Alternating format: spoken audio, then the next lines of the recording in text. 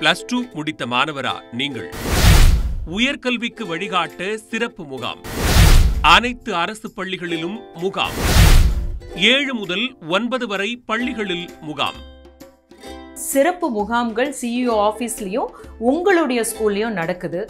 உங்களுக்கு உயர் கல்விக்கான எந்த மாதிரியான வழிகாட்டுதல் வேணும் அப்படின்னாலும் அந்த முகாம்களுக்கு நீங்கள் போங்க. அதை பயன்படுத்திக்கங்க. உங்களுக்கு என்னென்ன கன்ஃபியூஷன் இருந்தாலும் என்ன பயம் இருந்தாலும் அங்கே போய் உங்கள் டீச்சர்ஸோட முதல்ல பேசிடுங்க. உங்கள் அப்பா அம்மா கிட்டேயும் சொல்லிடுங்க.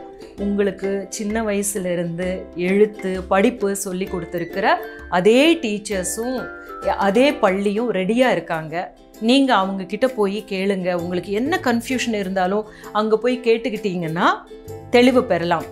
இல்லை உங்களால் போக முடியலன்னா ஒன் டபுள் ஃபோர் ஒன் செவனுக்கு ஃபோன் பண்ணுங்கள் அப்பா அம்மா கிட்ட சொல்லுங்கள் எனக்கு இந்த மாதிரியான கன்ஃபியூஷன் இருக்குது அப்படின்னு சொல்லிட்டு உங்களுக்கு உதவுறதுக்காக தான் எல்லாரும் ரெடியாக இருக்காங்க.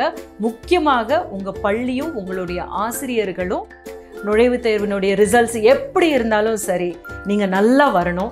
அதுக்கான வழிகாட்டுதல் உங்களுடைய பள்ளியும் பண்ணும் உங்களுடைய ஆசிரியர்களும் கொடுப்பாங்க.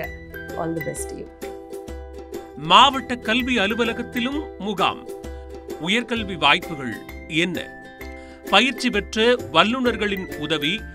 மாணவர்கள் நேரில் சென்று உதவி பெறலாம்.